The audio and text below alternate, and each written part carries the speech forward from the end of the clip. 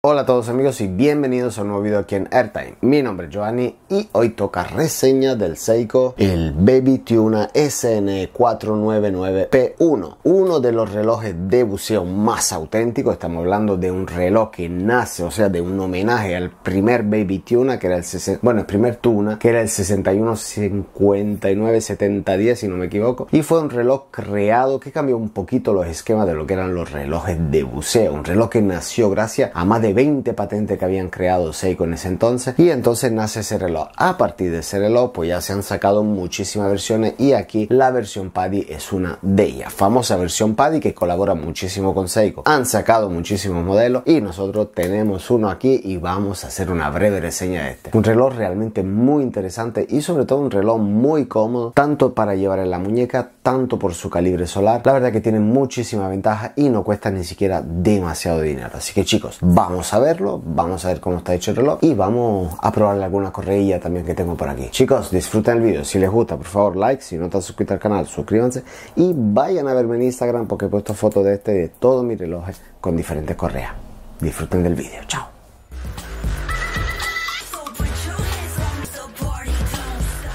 Y bien amigos, aquí tenemos el reloj, este es el Seiko SN499P1, también llamado Baby Tuna en su versión Paddy, o sea, en su versión Special Edition. Un reloj que realmente me ha chocado y que no me esperaba que fuera tan mm, ¿cómo decirlo? Tan cómodo de llevar en la muñeca, porque realmente, pues viéndolo en foto, en vídeo, sí que tiene la apariencia de ese reloj realmente grande, bruto, salvaje, pero pero tiene, tiene unas medidas que son realmente perfectas, tengo que decir. En mi muñeca, que es de 17 centímetros, la verdad que el reloj se lleva genial. Como todos los relojes, pues tienen sus cosas positivas y sus otras cosas menos positivas. Hay unos puntitos que sí quiero que vean realmente porque mm, creo que son importantes a la hora de, de adquirir o, si tenéis pensado comprar este reloj. Pues sí hay algunas cosas que sí me gustaría hacer hincapié y nada. Pero bueno, vamos a ver ahora primero las medidas. Voy a hacer un pequeño zoom para que vean esta belleza desde cerca, sobre todo porque tiene un cuadrante increíble. Y nada, vamos a hablar de las medidas. Pues realmente de diámetro en este caso tenemos 46.8, que mm, bueno, teniendo en cuenta que en un reloj normal 46.8 es una aberración, es un reloj grandísimo. En este caso estos 46.8 no son ni siquiera demasiado grandes. Y teniendo en cuenta que luego si lo calculamos de este punto a este punto tenemos 49.6, llegamos casi a los 50 milímetros de diámetro. Pero resulta que como Lactulag, al ser un reloj redondo, es aún más pequeño porque es 46.4. Así que es un reloj que realmente se puede llevar muy bien en la muñeca. El grosor es muy fino ya que tenemos un cuarzo, un calibre cuarzo solar y es de a duras pena 11.8 mientras que aquí de separación para el cambio de la correa por si queréis cambiar esta maravillosa correa por otra es de 22 milímetros. Como materiales amigos tenemos una caja de acero inox 316L también en acero 316 tenemos la corona tenemos la tapa trasera que es de rosca y luego tenemos esta protección alrededor que se puede quitar y os mostraré en otro vídeo porque he comprado otra y quiero que lo vean con la otra caja, o sea, con el otro cubre caja. También aquí tenemos acero 316L, pero con un recubrimiento de PVD en azul granulado. Tenemos un cristal Artlex, el cristal, pues bueno, se raya como se rayan todos los Artlex y los minerales. Y luego tenemos una especie de resina aquí en la parte superior de lo que es el bisel, o sea, el inserto de bisel. Es de una resina que también se, mm, se raya. También se raya no con demasiada facilidad, pero se raya tanto como se raya el cristal Ardelex. Así que si tenéis este modelo, en realidad, pues tened mucho cuidado porque también una cosa que he notado es que pues está bastante abajo y no cubre y no protege demasiado lo que es el cristal de Hardlex. Otros materiales, tenemos una correa de caucho, en este caso caucho del nuevo Seiko y que realmente es muy cómodo de llevar a la muñeca. Es pues sí, bastante cómodo. Tengo que decir que abraza muy bien la muñeca porque es muy suave, así que genial en este caso. Tenemos aquí lo que es el cierre Seiko, todo con logo Seiko. La verdad que me gustan mucho estos detalles que está teniendo Seiko con sus divers de la gama Prospex, así que realmente guau, wow, me gusta. Luego nada amigos, más cositas. Tenemos un calibre solar V157, un calibre que nos permite tener 10 meses de reserva de carga, así que si lo tenemos a plena carga, que creo que para alcanzar la plena carga pues tenemos que tenerlo al sol pues unos 120 minutos si no me equivoco. Y esos 120 minutos de sol nos daría para 10 meses de reserva de carga, o sea que lo podemos tener 10 meses encerrado en un cajón con total oscuridad que el reloj nos va a funcionar durante 10 meses, o sea casi un año de reserva de carga. Increíble, increíble. Y nada, también tenemos en este caso con este calibre una precisión de más o menos 15 segundos al mes, que es lo que suelen dar más o menos los calibres solares de cuarzo. Amigos, otros detallitos, tenemos un bisel unidireccional, la verdad que el bisel es fantástico, son 120 clics, pero muy muy suave.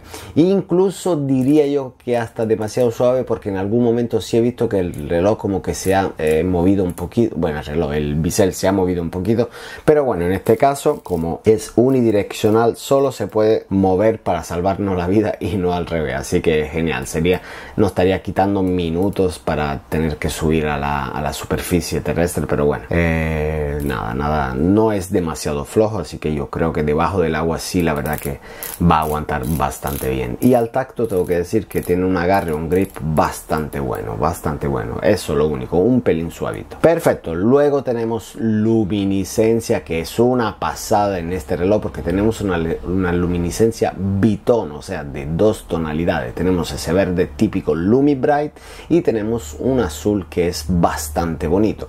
Tenemos también luminiscencia en este inserto de bisel eh, de resina, pues incluso hay una parte que sí tiene luminiscencia y eso se agradece a la hora de estar debajo del agua porque son detalles muy importantes. Pero bueno, realmente estamos hablando de un diver, un diver certificado 200 metros, un diver ISO 6425, así que estamos frente a un pues diver de verdad. Tenemos 200 metros de resistencia al agua y eso la verdad que nos permite meternos en el agua con mucha, mucha tranquilidad. Una cosita que he notado en esta corona de rosca es que se mueve un pelín demasiado. No sé si ven. Si he ido a buscar información y he visto en otros vídeos que también, pues, algunos se quejaban de esto. Realmente, amigos, no es un problema realmente porque, no sé, la tenemos siempre cerrada esta corona. Al tenerla cerrada, pues, se queda ahí, no se nos va a mover, así que realmente no es un punto que me quita el sueño. Más cositas, chicos, más cositas. El precio de este reloj, pues, se puede conseguir alrededor de los 350. Yo creo que a partir de 300, incluso buscando, a lo mejor en eBay, en Amazon, os voy a poner un par de enlaces de lo que he encontrado yo, lo más barato por internet.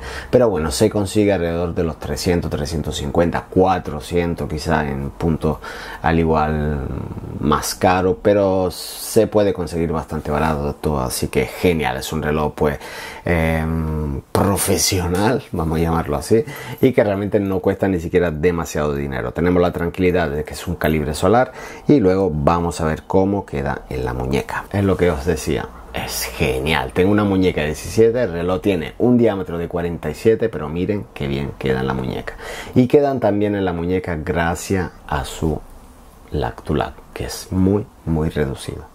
Pero chicos, miren, miren este pedazo de cuadrante. ¡Wow! ¿Eh? Esas son. Está muy bonito, chicos, muy bonito. Me gusta el contraste azul, negro, rojo, muy bonito. Y la verdad que queda muy, muy bien. Bueno, vamos a ver, ah, otra cosita que quería mostrar, la fecha en este caso, a diferencia de otros calibres solares que he tenido y que tengo todavía por ahí, tengo que decir que la fecha se ve súper bien, súper bien, me gusta, me gusta eso, un punto a favor del reloj. Bueno, vamos a probarlo. Quiero que lo vean con una correita nato, bueno, con dos correas nato.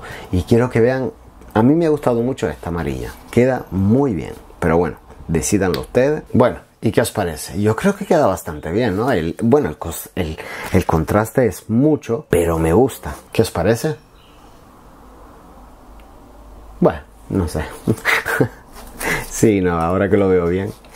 Pero bueno, vamos a probar la azul. Igual aquí está en azul, sí, en azul queda genial. La azul es la suya, ¿eh?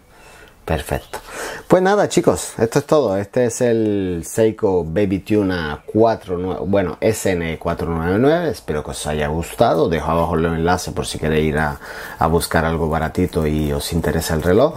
Y nada, os veo en una próxima, no reseña, sino vamos a hacer una pequeña modificación a este reloj porque he pensado ponerle pues una carcasa nueva y un armis de acero. Así que nada lo veremos muy muy muy pronto. Espero os guste. Y nada chicos si el vídeo les ha gustado like. Si no están suscritos al canal suscríbanse. Y vayan a verme en instagram porque he puesto fotos de todos estos relojes con diferentes coreas como siempre os digo. Chicos a la próxima. Chao